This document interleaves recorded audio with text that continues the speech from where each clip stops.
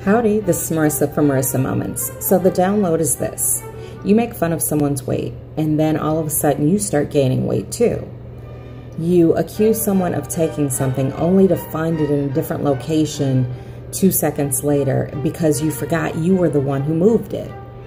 You make a snap judgment on someone just based off of their outside appearance only to find out that your judgment was completely wrong. So, etc., etc., right?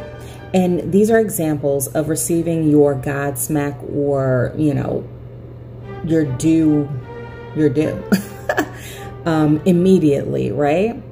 Now, what Spirit is saying is that this is essentially the universe's way of providing you with a divine or divinity instruction manual. Because this is your moment to not only just share a fun story or a, a, moment with other people and laugh about it later. No, this is your opportunity to take the circumstance, the lesson, and learn from it, truly learn from it. It's like, like I said, an instruction manual. Now, there are some of us that when we buy something to put together, we get the instruction manual, we're like, huh, that's cute. I'll look at the picture and go from whatever, right? You put it all together and you're doing all this work, and then you get to the end and something tells you, you know what, let me just take a quick look at that um, thing. And uh, you realize you put the whole thing together wrong. Or you put it all the way together only to have all these spare pieces at the end, and you're like, what am I supposed to do with this, right? Well, that's the same thing. However, this is a divine instruction manual to help you to elevate, to heal, to progress within your own divine alignment.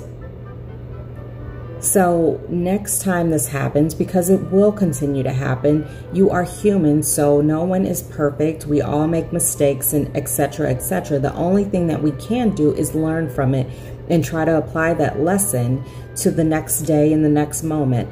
In that way, when we are faced with similar circumstances, we'll remember because we actually read the instructions and applied it to the circumstances. Are you picking up what I'm putting down? Hopefully you are.